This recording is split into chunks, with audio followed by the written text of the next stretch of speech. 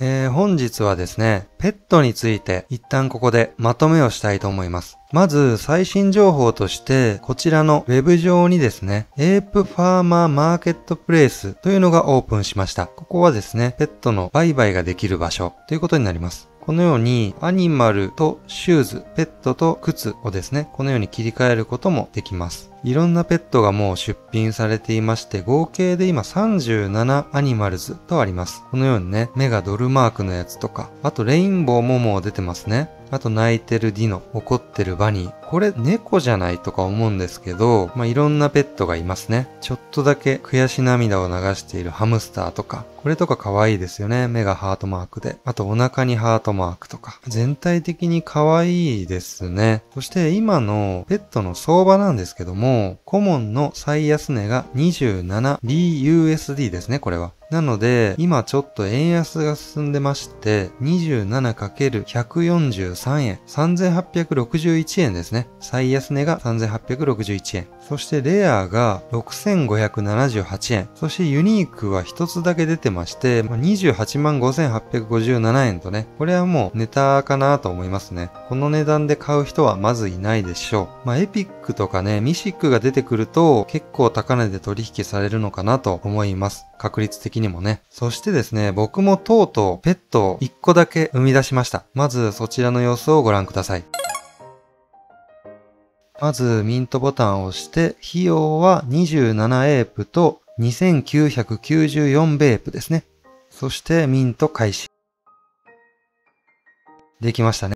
ここで To Inventory を押すと、このように卵を確認することができます。そして、今度は Web 上の Ape Farm の画面に行きます。そこで、こちらのですね、ペットの卵の NFT ウォレットへ送信ボタンを押して、もう即反映されましたね。そしてこの開封ボタンを押して手数料を少量支払う。で、しばらく待つと、このようにペットがいきなり登場しました。今回の僕のペットはレアのユニコーンでしたね。排出確率は35%のハッシュパワーは2となります。そしてこのようにセルボタンを押すと値段を決めて BUSD で出品することもできます。で、今のレートに関してはこのような感じで僕のハッシュパワーが2に増えていますね。ここからですね、更新していくごとにベープが増えていく形となります。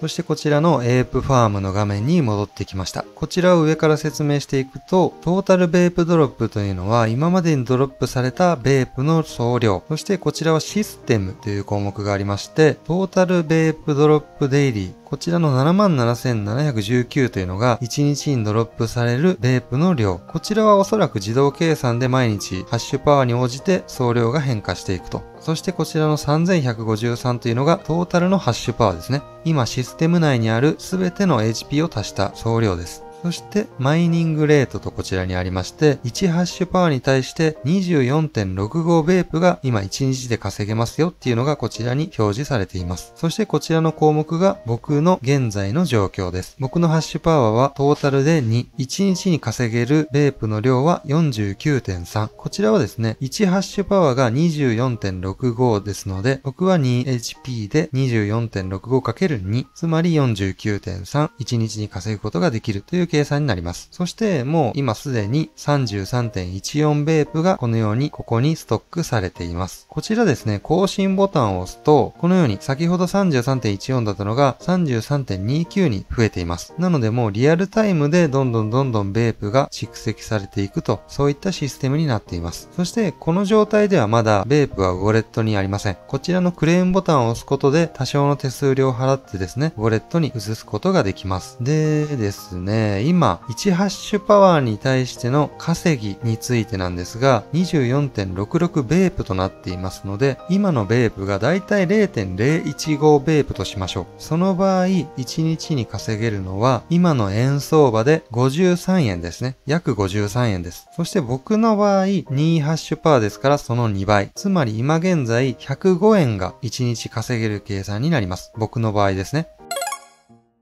では次に、それぞれ HP がいくらあったら、今のレートでどれだけ稼げるのかっていうのをね、円で計算してみましたので、こちらを見ていきたいと思います。まず、HP1 なら53円、そして HP10 なら532円、HP20 なら1065円、ここで考えたいのは自分がいくら欲しいのかっていうところですよね。まあ、例えば1000円でいいよっていうんであれば HP が19で1011円と。で、3000円は欲しいよっていう方がいるのであれば、HP は57必要です。5000円なら HP94、1万円なら HP188、3万円なら HP564、5万円なら HP940、といった具合になります。まあ、こちらの表はね、僕のホームページの計算表の方にですね、追加しておきますので、見たい方は見ちゃってください。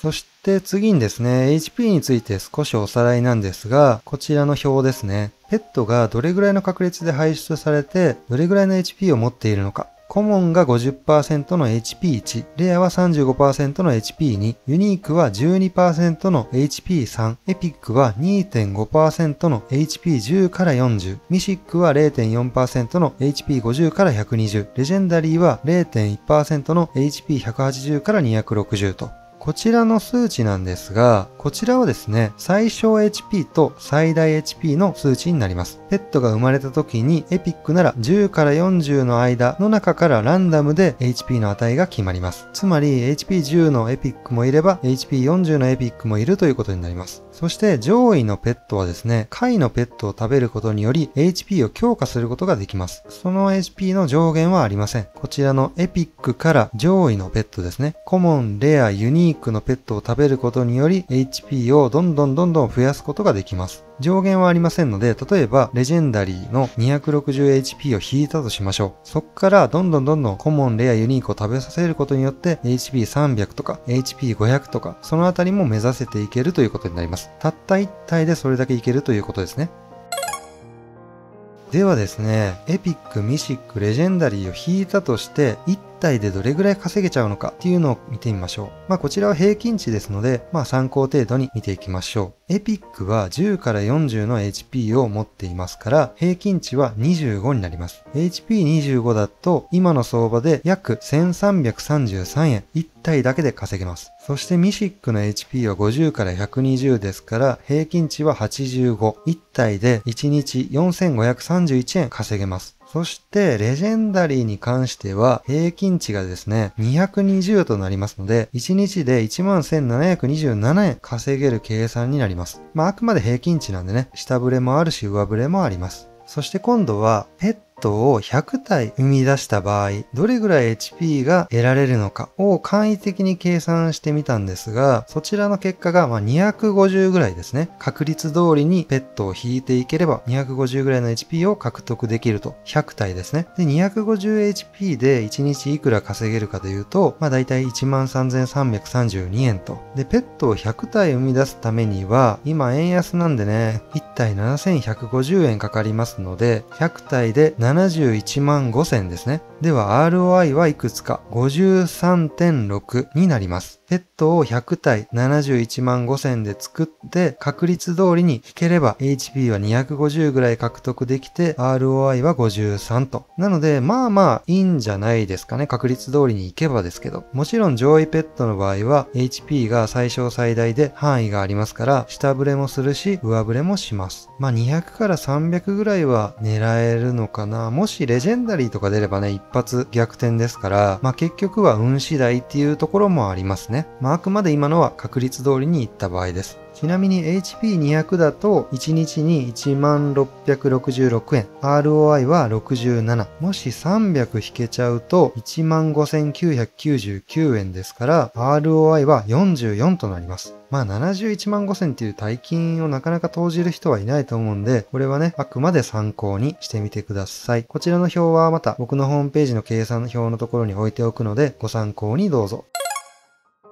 で、もう一つですね。こちらも重要な要素があります。まあ、1HP に対して今が24.66ベープを1日稼げるという計算になるんですが、例えば 10HP なら246.6ベープ。この数字っていうのも結構重要で、卵の開封費用が今だいたい3000ベープ弱なんですよ。で、このベープアーニング、こちらのエープファームのベープアーニングで卵の開封費用まで賄ってしまえれば、1日分の開封費用費用のことなんですが、例えば3000ベープだと、こちら HP122 で3000ベープ1日稼げるわけです。なので、1日1個卵開封費用がもう勝手に捻出されると。ベープに関してね。で、エープに関しては歩いて稼ぐ。まあ、今のだいたいエープの費用が25とか30だったったと思うんですよね。まあそれぐらいなら、まあレアの靴3足のエナジー7のレベル19あたりでもそこは稼げますね。まあレベル18とかレベル19のあたりで20になると30エープ稼げるんで、まあまあ3足のレベル20があれば卵の開封費用のエープの方もですね、賄えるということになります。まあ休息とかね、エナジー20とかになってくるともっともっとエープを稼げるので、1日の卵開封費用は楽に捻出できるかと思います。そして1日1個開封していくごとに HP も増えていくわけですから、もっともっと効率も良くなっていくはずですね。計算上は。で、この3000ベープとかを稼げるようになると、靴のレベル上げっていうのも簡単にできていくわけじゃないですか。まあ、こちら、レベル4からレベル5にかかるベープの量は4000ですので、3000ベープ1日稼げれば2日で達成できてしまう。そしてこちら、レベル9からレベル10にする場合でも12000ベープですから、3000ベープ1日稼げれば4日でここも作れちゃうと。レベルル19から20も24000ベーブですから、3波24の8日でできちゃうと。このあたり、28から29も12000ベープで4日。29から30の4万ベープも14日ぐらいで稼げてしまう。こうなるとですね、この靴、レベル10の靴を売っても利益が得られるようになるんですよね。ユニークのレベル10の靴は 0.79BNB ですので、まあ、約3万円。まあ、6日ごとにレベル10の靴が作り出せる。1日3000ベプを稼げると、6日ごとにですね、レベル10の靴が作れるわけですね。つまりそれを売ってしまえば、6日ごとに3万円入ると。まあ、そういった利益の取り方もできると。まあ、なので、結構今投資できる人はぼちぼちいいシステムなんじゃないかなとは思いますね。ただ、そこに気づいている人というか、そこまでいける人っていうのはやっぱ少ない。本当にごくごく一部の人かなと思いますね。まあこのランキングボードを見ても、1位の人が195で、そこから62と、